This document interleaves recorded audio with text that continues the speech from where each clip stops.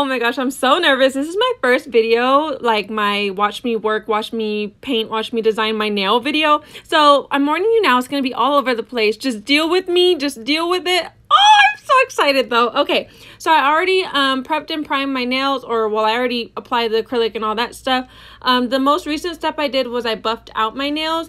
I am doing Lucky Charm nails. I literally bought a box of Lucky Charms just for this because I don't even eat this anymore. But yeah, I bought some Lucky Charms just for some inspiration. All right, so this next step is, it's not really necessary. I already buffed out my nails, so you really don't need to add base coat. The reason why I'm adding base coat though is because I'm using a color that's not very thick and pigmented. So I wanted to see if using base coat was going to help. It didn't end up helping, so I kind of wasted my time doing this. But um, yeah, you'll see. Just know that the color I used after this it's not the best. It's, it's a mess. I'm, I'm letting you know that now. It's going to be a mess, but we... I worked with it and we're going to get what we got. But ooh, look at that. From matte to shiny. Then I went ahead and cured this in the uh, UV light. After each coat and each layer of polish that I do, I do cure my nails, but I just don't show it on video because I didn't want to go back and forth. But here's the color. This color is from, I believe, Beetles polish, and it's in a really small, I, I really just wanted to test out their polishes look how like uneven it is and it's not even it's not entirely the polishes or the brand's fault because my nails are a little bumpy and uneven, so that doesn't completely help. However, um, when I use this color on like plain regular press-on nails that are completely smooth, it, it does the same thing where it's kind of like patchy. And so you'll see me struggle with trying to get this all together. So I ended up doing two coats of this. After the first coat, I went ahead and cured it. And then I did a second coat went ahead and cured it. And then I actually went and grabbed a whole nother color to try and put another color over it. But like just, it's not that great. Please just, just trust the process. Trust the process. This is the second color that I ended up going in with. Um, I felt like the more I touched it, the more I just made it worse.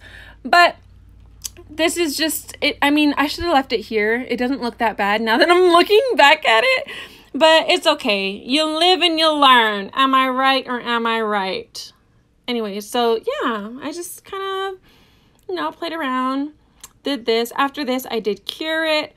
Um, and then it didn't really get much better from here, honestly. I totally forgot to mention that I'm also doing this with my non-dominant hand, so my control is horrible. I am right-handed, so when I have to do my right hand nails with my left hand, it doesn't come out as good.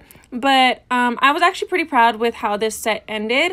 Um, I usually, how do I explain it? Like I usually do more simple sets on this hand just because, yeah. Anyways, now I'm going in with the white. As you can see, the white's kind of not that thick, pigmented. I don't know. But I didn't have as much problems with it that as I did with the other polish. So I just kind of went in and put like a base down. And then after this, I'm going to go ahead and add like the milk drips, if that makes sense. Now, you're going to see that I end up using a dotting tool instead of a like liner brush. And I did this because with the dotting tool, it's almost like um, when you're in kindergarten and you are using a bigger pen so that you can have more control over your writing rather than using a skinny pencil that is is harder to hold and whatnot. I don't even know if you know that or not, but yeah. So I'm using a dotting tool just because it's less error in my opinion. I don't know if it's true or not. Could just be me, but I'm using a dotting tool and kind of just um, making these little drip drips everywhere. If you do decide to use a dotting tool rather than using, um, what is that called, a lining brush, um, I do recommend using a lot more polish, like putting a lot more polish on your little palette or whatever than what I did because I was kind of struggling since I was only picking up a little bit of polish. It wasn't, the nail polish wasn't moving and shaping to how I wanted it to. So this also took me a lot longer than it should have. But like I said, you live and you learn. I lived and I learned. If you've made it this far in my video, thank you so much for putting up with this crazy random, I don't even know what's going on, but you're still here. Thank you so much. Um, I did go ahead and put more drips in there. I really didn't like the placement that I did for all of this, but I just kind of just, mm, I was taking L's all in the beginning of this whole process. I was taking L's, and then this is what it kind of looks like. I kind of like it, but at the same time, eh. I'm gonna do a different design on my pointer finger. That's why it's still clear. But yeah, now it's time for the Lucky Charms. JK, I lied. I psyched myself out. I did end up putting some chains in here. Um, so I just took this this drill that I'm using is Melody Susie. I got it from Amazon. It was literally only $20. Um, I'm just drilling like two little holes in my nail. That way I can put the little um, like gold charms in it and then I can put little you'll see at the end. I'll include it at the end of the video. But yeah, you kind of just like play around with it. This drill isn't super strong, but yeah, look, she got the job done. She got the job done. Now I'm going to take the little uh hoopy things and I got these from Amazon as well. Almost everything I buy is from Amazon because it's just convenient, honestly. I, there's no like nail supply store around me. But yeah, so I went ahead, stuck those charms in and it's really easy to use. Oh, I just got a notification on my email.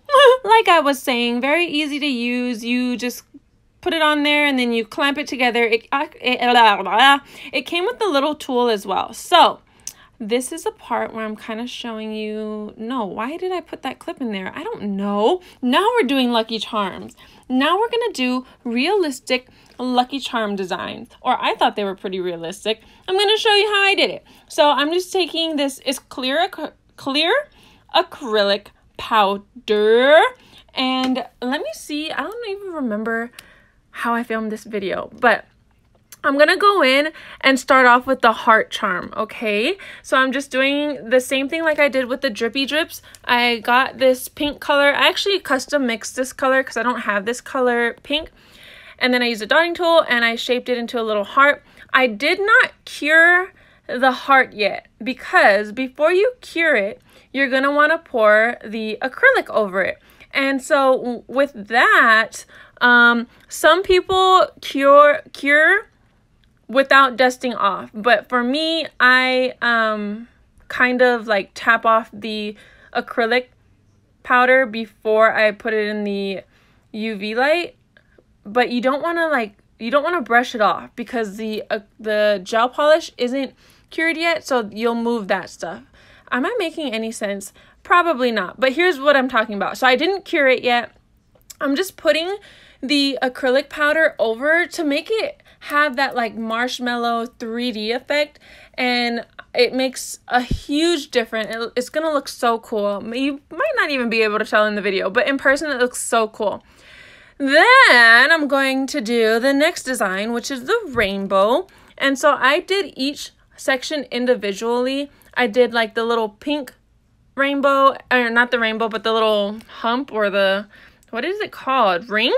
I don't know. But I did the color pink first, put the um, acrylic powder over it, put in the UV light. Then I went ahead and put the yellow, did the yellow ring or whatever rainbow piece. I don't even, what are they called? Now I need to look it up.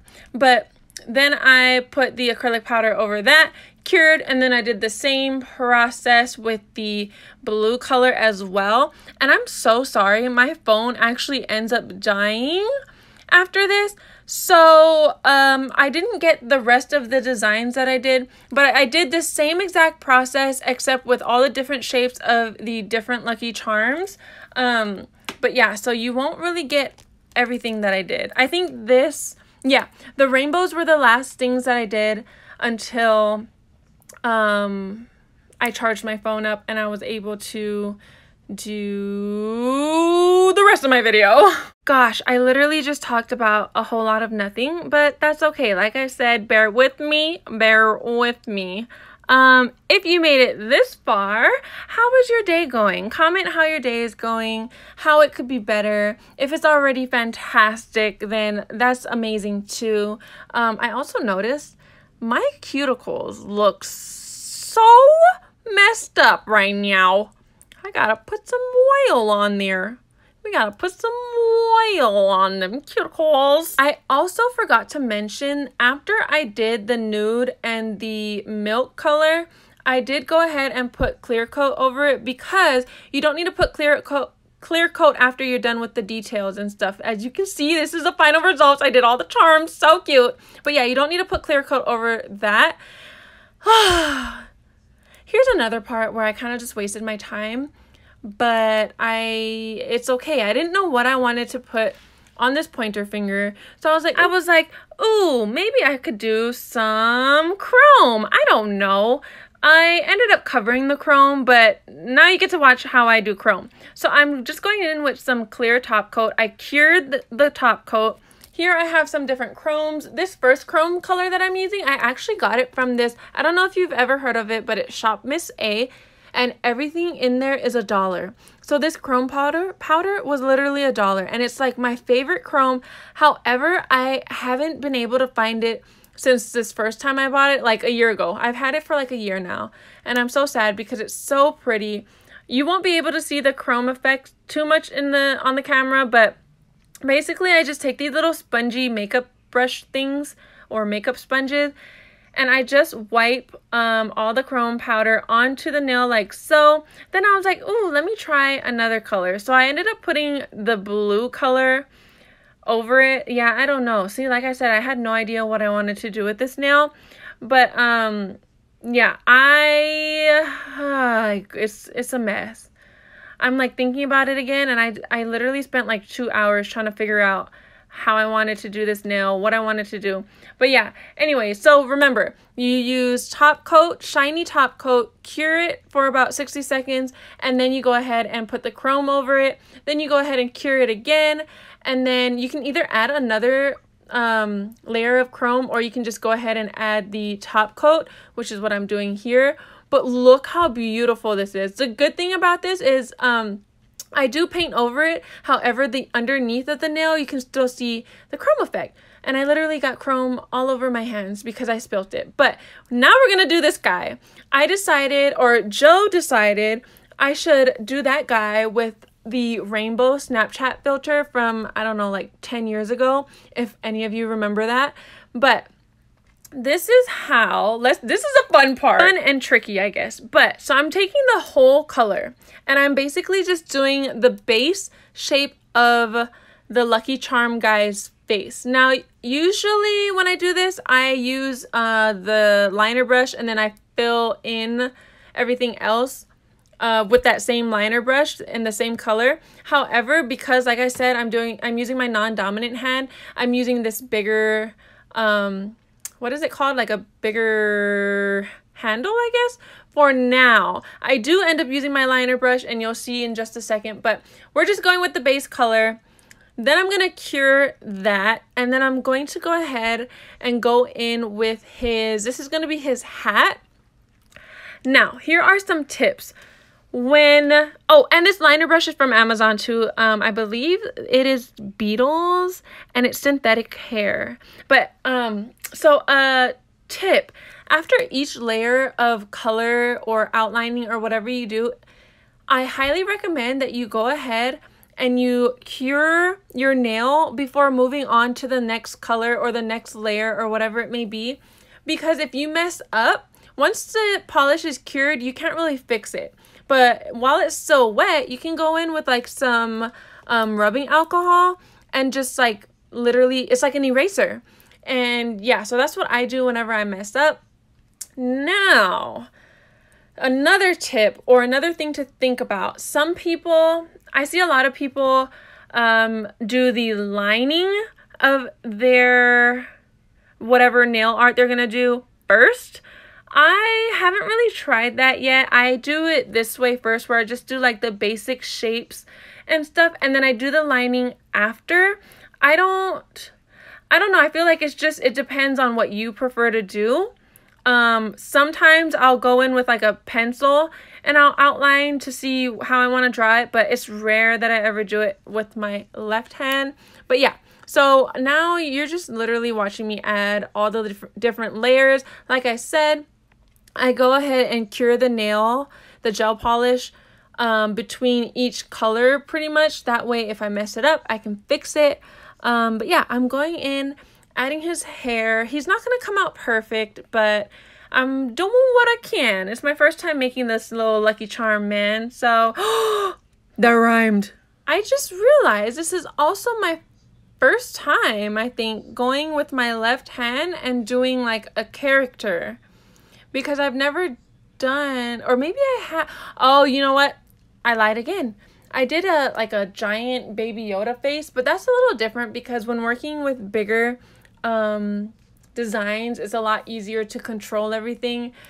But this is the smallest like nail design that I've done with my non-dominant hand.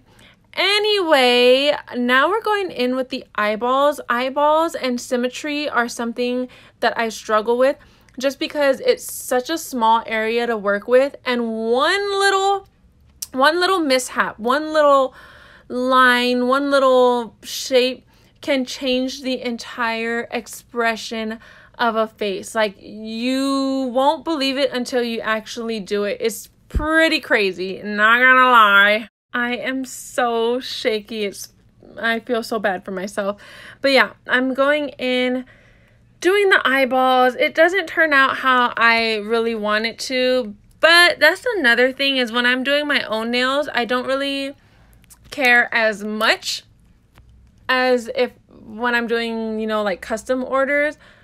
I don't even know how to what I'm trying to say. I'm basically saying that when I do my own nails, I don't pay attention to detail as much as when I'm doing custom orders because it's my nails and really I'm the only one who's looking at it. But yeah, now I'm going in with just some regular black gel polish and I'm outlining everything to my best ability. Um, curving with a liner brush is also something that I am not 100% satisfied with, especially with my non-dominant hand. But practice makes perfect. Practice makes perfect. Um, also, try to line in sections, cure, and then line in sections again. It makes a huge difference because if you mess up, like I said, you can just go in and erase it with some rubbing alcohol, the magic eraser. A little nail decorating tip for you would be um, to remember that different pressure, the different pressures that you apply on the brush creates different thickness in your lines, thicknesses in your lines. So just keep that keep that in mind. Oh my goodness gracious. Just keep that in mind when you are practicing. I would suggest practicing on like a fake hand or false nails. But yeah, okay, now this part, this next part is to be really fun. I I think I actually saw someone do it on a TikTok video. But basically, I'm getting the polishes and I'm just to line them on some wax paper or, yeah, I think it's wax paper. And I'm to line it like so. I'm going to put them next to each other and then I'm going to take a brush. This brush is actually for polygel, I believe. I don't know. I have a bunch of stuff that I have no idea what it's actually for or what. But take the polygel brush and just kind of like brush it up like so and then kind of drag it down on the nail. I actually didn't pick up enough polish, but it was my first time trying it and it it looks so cool to me. I thought it was so cool. So I end up doing that with um the rainbow colors. So I did half and half since my brush won't be able to fit all six colors that I wanted to use. So for this one, I did the purple, the blue, and the green. And then in the next one, I'll do the red, the yellow, and the orange. And then I don't think I really showed too much of it, but I do take the liner brush and kind of just go in and mess around with the colors. But look how cool this is. It is so cool to me. Look at that. It looks kind of messy right now, but it's a lot easier than taking each individual color and like lining it on there myself. It, it really looks like the Snapchat filter. But I'm not done yet. We're not done yet, folks. Oh, I did go in and show this part. So yeah, I just kind of went in and fixed the parts where like the colors were missing or the colors were a little uneven. I mean, it wasn't supposed to be perfect, but yeah, that's how I kind of just fixed it up a little bit. And then I went in with some white polish and I just added some dots and stars. If you take a look at the um, cereal box or the Snapchat filter, there are some of these like little star looking things or diamond stars, whatever they are. So yeah, that's what I ended up doing. Here is a an example of like just keep in mind that the pressure you use on your brush changes the entire line. Some of my lines, um, the thickness of the line. Some of my lines are like really nice and thin and some of them are kind of thick and yeah. You want to do like a thick one at first and then a nice thin line at the end but i didn't i didn't do that on all of them some of them look eh. But it's okay. We still need to trust the process. And keep in mind that top coat brings everything to life both clear and matte top coat for some reason just always pulls it together so yeah, it's kind of coming along, but once I add that top coat, it's gonna really pull everything together. Oh my goodness, props to everyone who does nail videos. Oh, I'm adding the top coat now. Props to everyone who does nail videos or, you know, any videos in general because this voiceover thing, this explaining what's going on is something else. I did go cure it I don't ask. I ended up putting a box and then putting my uh, UV light on the box because it just it was easier this part okay i decided it would be so cool if i put the actual cereals cereal pieces on the charms this is what i was talking about earlier. So i did go ahead and do that. It, it looked so cool. Um on my tiktok i posted a video and people were like ooh you should dip it in like some top coat or hard gel so that you can preserve it and you can wear it around all the time and blah blah blah. But i kind of didn't want to wear it around so i didn't try that. But i was like ooh i can do the marshmallows and change out the marshmallows every day however i left these marshmallows out for a couple of days and they became squishy so it didn't even work out on this first attempt that i tried to stick it through um, yes, these nails took me a few days to complete. So after this failed attempt, I did try to do a, another one and that one failed as well miserably. So I was like, you know what? This one, this is another fail. I was like, no, no, my heart was broken.